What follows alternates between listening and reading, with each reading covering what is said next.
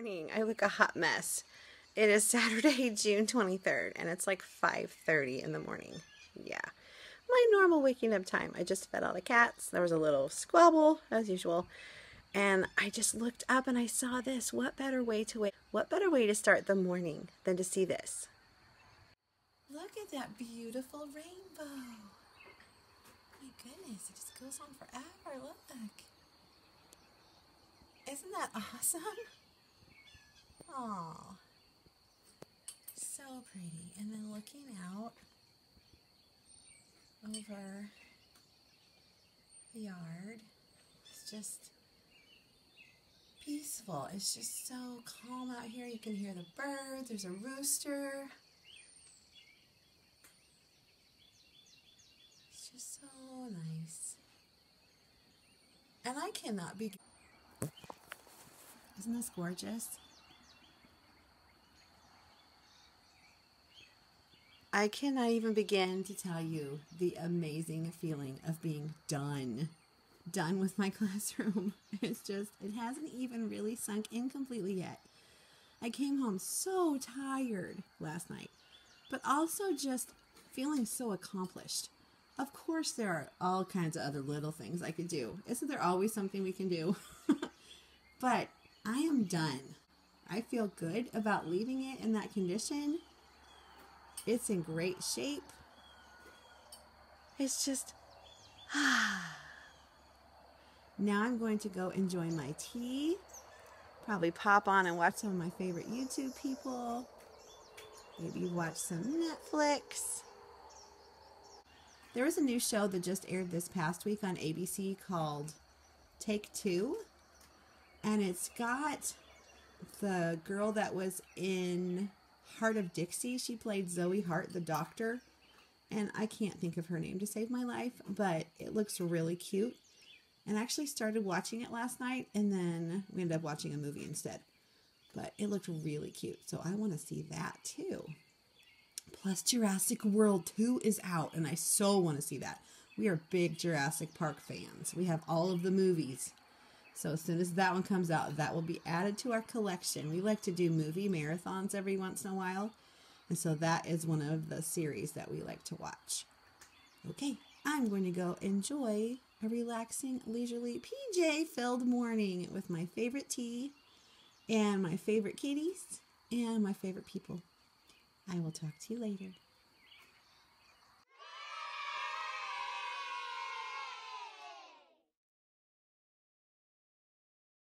Today's Saturday Spotlight is Tracy of Tracy's Primary Pandemonium. As you can see, she's a teacher in Australia. She's a primary teacher, and she is just very warm and sweet and caring. And she's like my twin. we grew up on opposite sides of the world, but we have so much in common. It's it's amazing.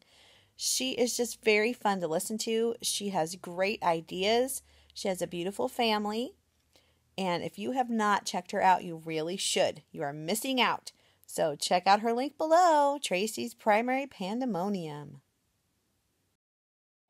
Good evening. We are headed to my mother in law's for a fun filled evening of food and games. And this road is very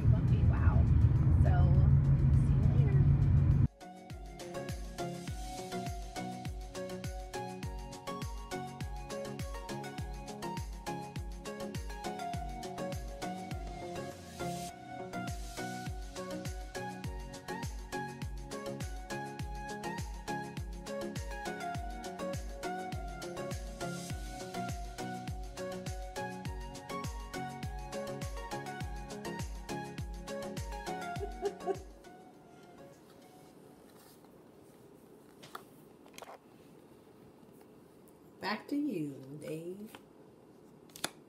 Back to you, Dave Jr.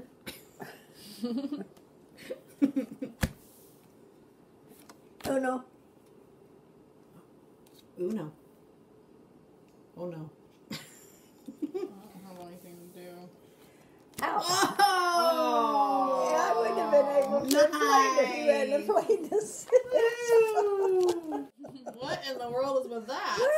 well, I saw, Hello? Saw a color I had. My house, my rules. Oh. We are back home after a very fun filled night of losing a lot of games for me. I think I won three rounds of Uno. I don't think I ever won Skip-Bo. Didn't win aggravation, but that's okay. And I don't think I showed you this little lovely gem. Check this out. Caitlin found this little cutie by one of the cars the other day. Look at that. Teeny weeny. Really suckling. The we think the baby was not even a day old. Just laying by one of the cars in the driveway, all wet from the rain and very, very sad and squawky. Poor little baby. Look, look at that little face. Yeah. Still has this little umbilical cord. See? One. Okay.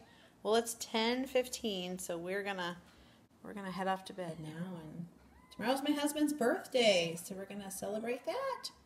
So I'll see you later.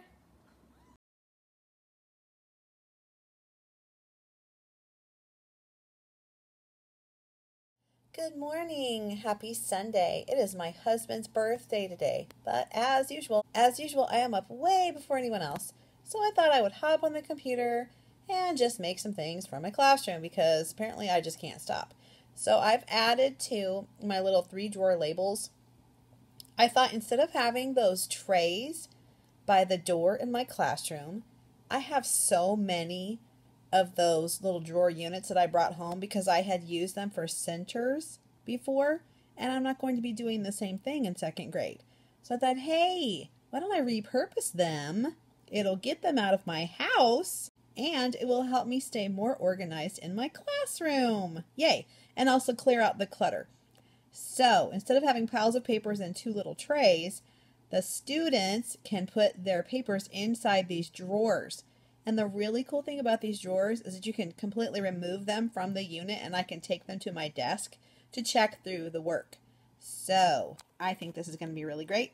So I've got this page that will replace the turn in tray. I've got this one that will hold things that were going in the other turn in tray. And then I decided, yeah, since I was going label crazy, you might as well go all out, go big or go home, right?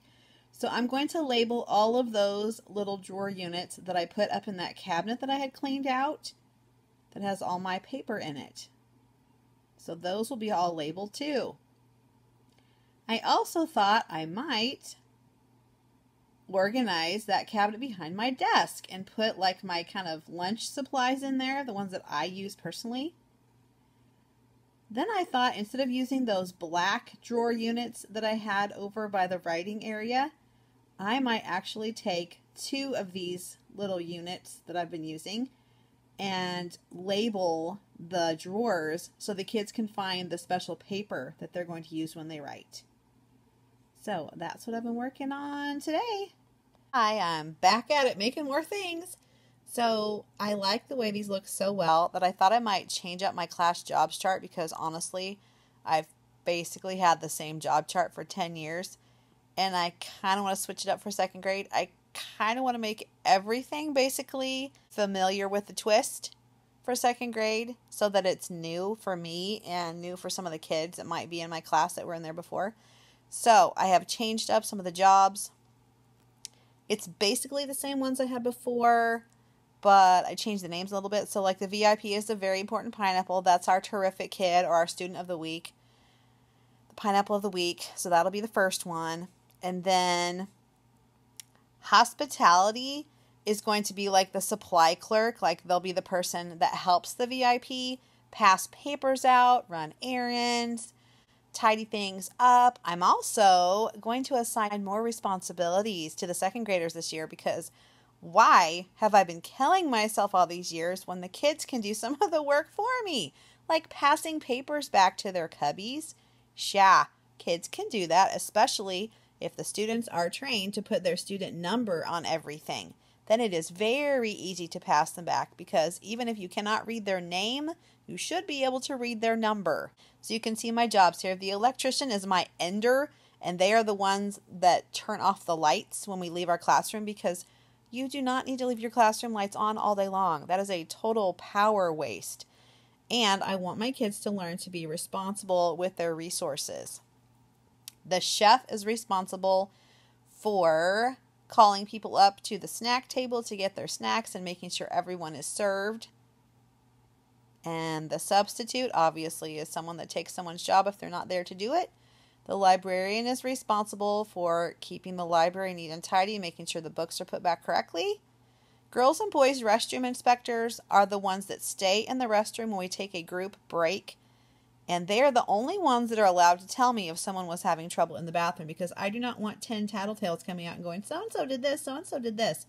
Only the restroom inspector assigned for that week is allowed to like kind of like be the official tattler of the bathroom. They also kind of make sure the students are kind of quiet and that they throw their paper towels away and don't leave the bathroom a mess. The custodian is responsible for checking our classroom at the end of the day when we've already done our cleanup crew and making sure no one left anything on the floor that shouldn't be there. I'm going to have a girl and a boy custodian. That way they all get a chance to do it equally. And they will make sure that the chairs are put up at the end of the day since I only have 10 chairs. It's not going to be that hard. It's not a whole class set of chairs since I do flexible seating. My next little section here, I had extras, and so I thought, hey, why don't I just make little tags so I can clip them onto my papers that I want to be copied because it is possible that I may have a volunteer this year that may want to help me with things like that. So then I can kind of organize my paper piles into the correct stacks and label them. These I made to go on those clips that I put on my bulletin board in the hallway to hold student work. I think these will be so cute and I think they're going to be the right size for the clips. I will check and show you as soon as I grab my clip because I got one and took it home with me because I was thinking. So I made enough for 24. Holy cow, I hope I don't have that many kids. I hope I just have 21 max. but I also went ahead and took up the rest of them with copy and file because goodness knows we're going to have lots of copy and file piles. I think Sleeping Beauty might be stirring. Look at that. Oh peeking her little head. She's only about three days old, maybe four. Oh, looks like she's going to go back to sleep. I'm babysitting right now so Caitlin can get some sleep because just like a human baby, little baby kitties need to be fed every few hours too, round the clock. They don't care if it's 3 o'clock in the morning. They want food. Here's my husband's awesome birthday cake. It's a jello poke cake with a Cool Whip topping. Yum!